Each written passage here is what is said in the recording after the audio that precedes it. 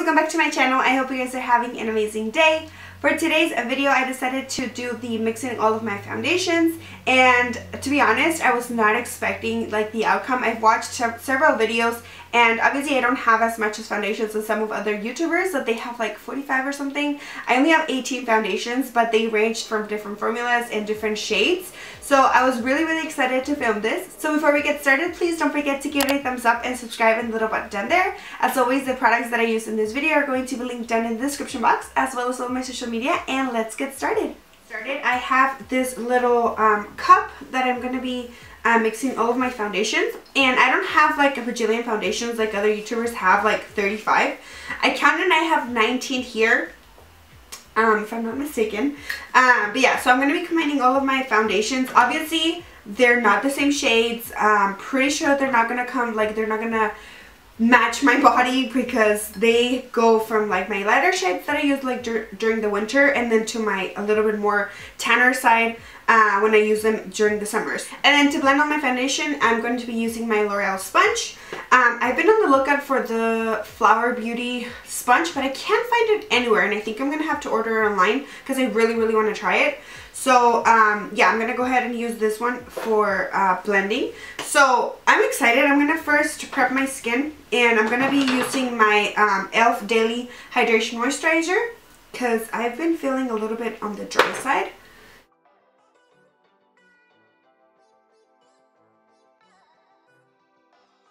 Um, the other video I really want to do, and I'm probably going to be filming um, next week, is going to be the following so-and-so's like makeup tutorial. I'm excited, but I'm really nervous because, you know, there are other YouTubers that are like freaking amazing. I have this little like bucket foundation, and I'm just going to be like showing you what I'm using and then just putting it in a little cup and then I'm going to mix it all together.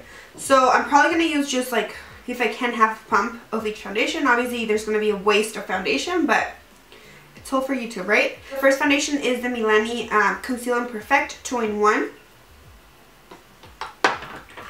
This is the Estee Lauder Double Wear Foundation. And I don't have a pump, so I'm just going to try to see if some, like a little bit comes out. Okay, like I'm waiting and waiting and not, nothing's coming out. oh, there we go. Have the L'Oreal True Match Healthy Luminous Makeup. This, I haven't used this in a long time. Oh, it's like super liquidy. Okay. I did like two pumps of that one because not a lot came out with that one. Uh, next, I have the LA Girl Pro Coverage AD Found HD Foundation. And then the next one is the Maybelline Dream Liquid Mousse. The next one is the Urban Decay Naked Skin Weightless Foundation. Again, this one I haven't used in forever. The, that color does not match me at all.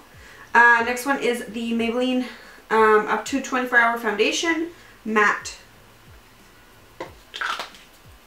That one I bought it recently and I've been loving it. Um, next one is the e.l.f. Flawless Finish Foundation.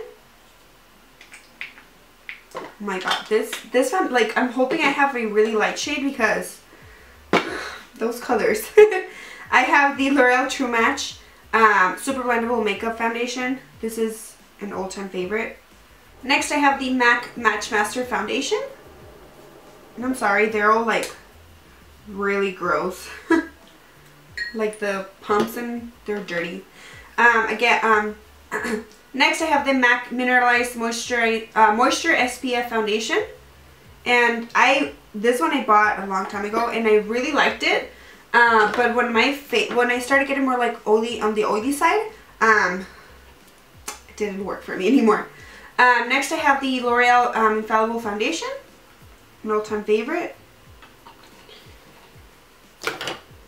The Makeup Forever Matte Velvet Foundation.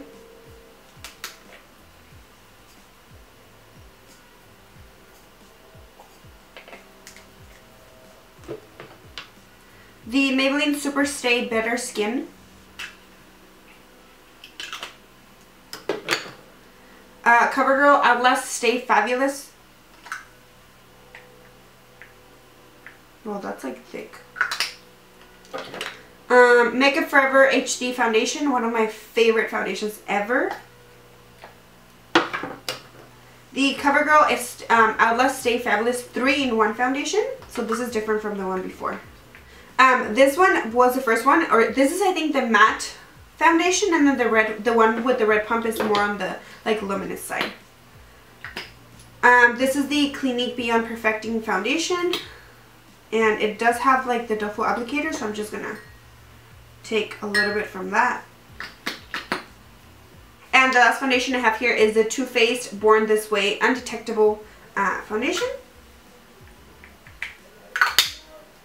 And those are all the foundations. I'm just going to make a little mix here. Um, and see, yeah, definitely that color is not going to match me. so all the foundations are in here. And um, I just used one of my blending brushes to like mix everything. So I'm going to dot this on my face. And we'll see most of these foundations are really like high coverage, so I am expecting, you know, full coverage. Wow, like the color matches me really good. That's crazy. Okay, there's like a chunk of, okay.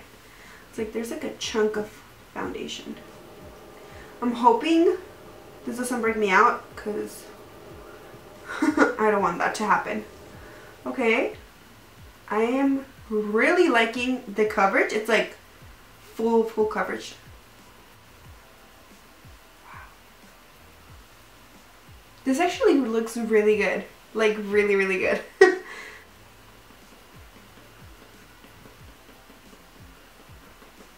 Hopefully it doesn't like um go a little bit more dark whenever it starts like when it starts drying. But so far so good. Oh, I got foundation in my hair. How did that happen? How did that happen? It's starting to oxidize just a tiny, tiny bit, but I'm pretty sure that I can just correct it with my concealer. So definitely the coverage is like full coverage. I can't see any of my redness on my cheeks. Um, the color matches me, like matches me, it's a good match. Um, but I just feel like it is oxidizing just a tiny bit. I mean, there are like 20 foundations here. So obviously it's going to like oxidize um, and the colors were, you know, different. But I really, really like how this looks.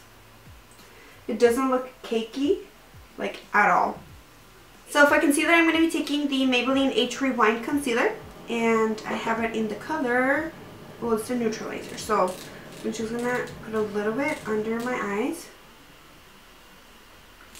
you know this comes out it would be amazing.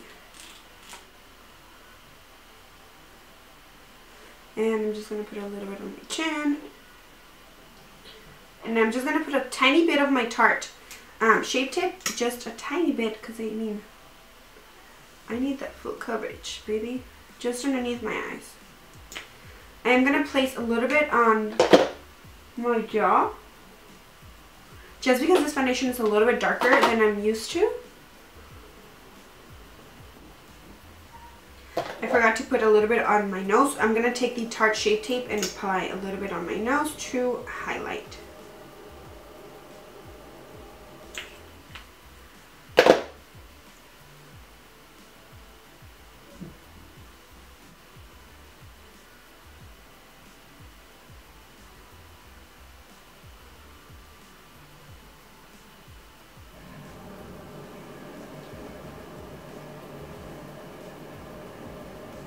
That is such a good drugstore fun, um, concealer.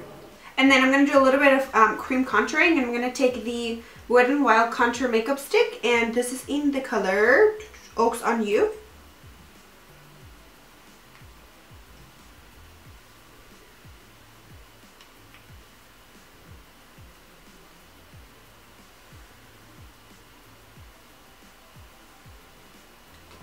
And I'm going to take that same L'Oreal sponge to blend it.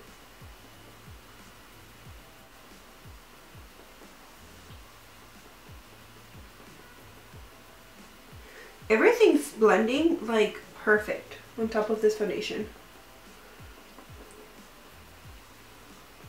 Like really, really nice. I'm just going to set my under eye and I'm going to take my favorite, the RCMA No Color Powder. And I'm going to um, just make sure I don't have any creases on my eyes, under my eyes, before I set.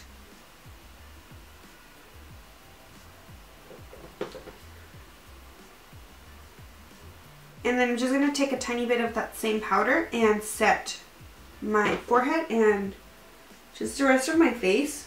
Um, I don't want to add any other coverage, so I'm not using like my MAC um, powder. But I do have to set my face because I have oily skin. This, it's like amazing. And I didn't think I was going to like it this much, but it's so pretty. It looks so natural. Okay, so I'm going to go and finish my face and I shall be back. So I definitely did not expect my face to look this flawless from mixing 20 foundations. Uh, but to be honest, like it did not, like it's not emphasizing any of my pores. It didn't go into any of my like fine lines like my smile lines or um, around my eyes. Everything went on like perfect. Everything went on super smooth. And overall, I'm just like super impressed with the outcome of this little experiment. So that is it for this video. I really hope you guys enjoyed and if you did, don't forget to give it a thumbs up and subscribe in the little button down there. As always, the products that I use in this video are going to be linked down in the description box as well as all my social media. And until then, I'll see you guys in the next video. Bye!